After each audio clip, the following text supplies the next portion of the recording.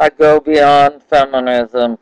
I hold on to the wire, to sharp wire. I bleed. I bleed. Feminism to me is equal work for equal pay. We are all on this planet. I hold on to the wire, still bleeding, but I see the joy of my grandson's dance, eight years old, dancing around a wedding with people watching in awe, a boy who can't speak much. I hold on to the wire like all of us in a way. I like Bill Maher very, very much. I can't criticize. I only can go on. What do we do? What do we do? How do we stop war? How do we, for, in God's name or the goddess's name, get health care decently?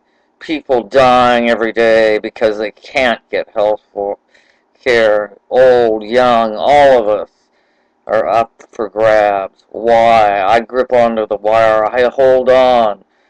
Why? For love, connection, not for war, destruction, ignorance, people who can't laugh. I'm not laughing now. I hold on to the wire.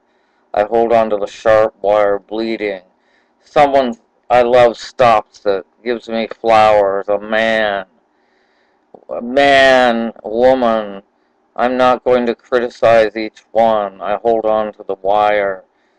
Going beyond feminism, Marxism, ism, ism, isms. Trying to say something about equality, uh, admiring Bill Maher, not trying to criticize as I was once. I hold on to the wire. The wire was easier once. I could walk on the wire before. Now I can't. So what? I go on. I can speak.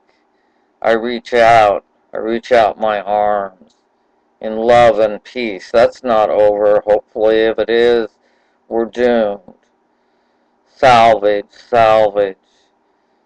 Love, peace, that's not that old. And but work, work is very old and we need to work for peace, for working for health care. I think you can feel what I'm not saying. Thank you, everyone.